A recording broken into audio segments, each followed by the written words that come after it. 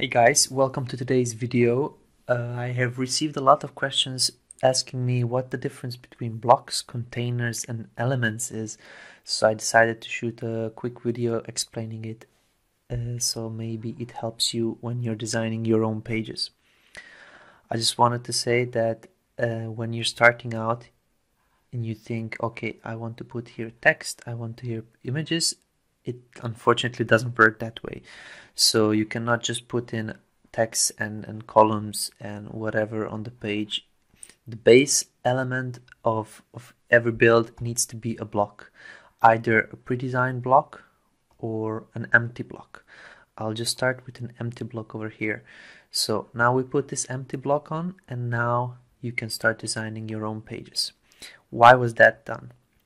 So this was done so that you can style the pages as you really would like them to look like. So if you click on, a, on the text part here, you can see that there's a text that is in the container on the block, which means, and this is for, for every page, for every build that you will be doing, a block needs to have a container so that you can put things in it. If we delete the text, if we delete the container,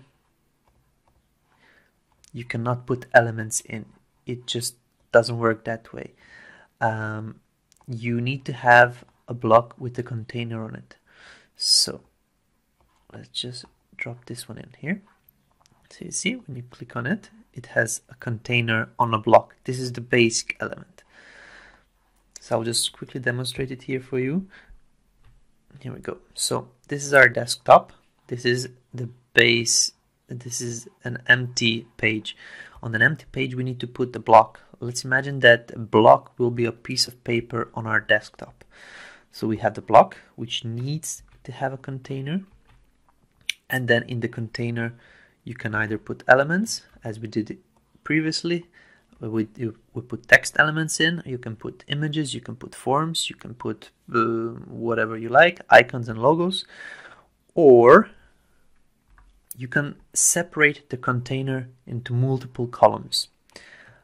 I'll show you in this this way. So this is a, uh, this is a block that has a container with one column in it. So you can put elements, texts, images, and things like this into one column, and this is how it would look like on a page. But what you can do is separate the, the whole page, the whole container even more. So you can put multiple columns in. And then you can place your elements on this in these columns. So this could be used, for example, when you're separating a, a, a page, like for the for your customers, what to do next. Uh, the first column would be used to like our page, or uh, visit our Facebook group, or send us an email. So you can separate it so that it looks nice and tidy on your page. Um, so there are already pre-made blocks that are separated in columns. For example, this one. This is, let's just delete the, the top one. There we go. So what we did here, we have a block, we have a container with columns on it. So this is the same here. So we have a, we have here a block with a container.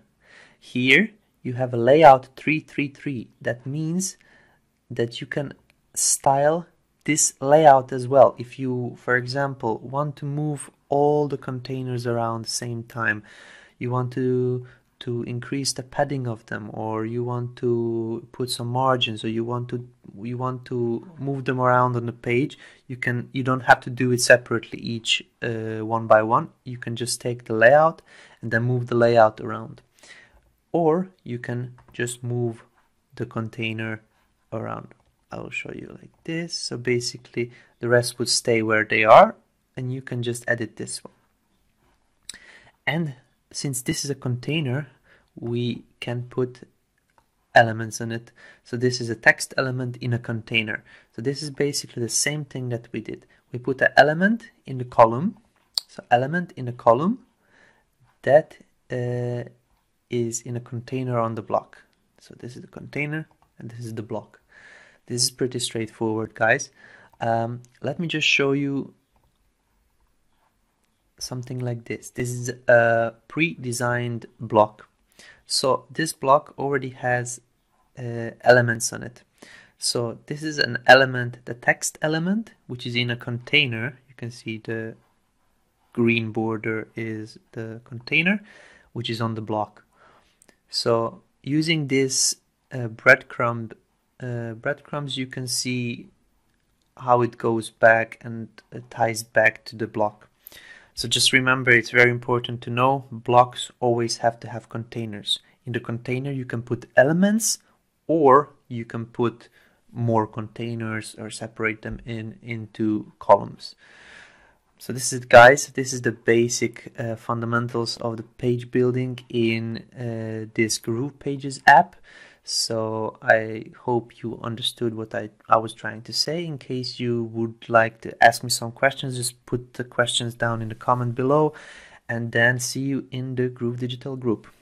See you, bye bye.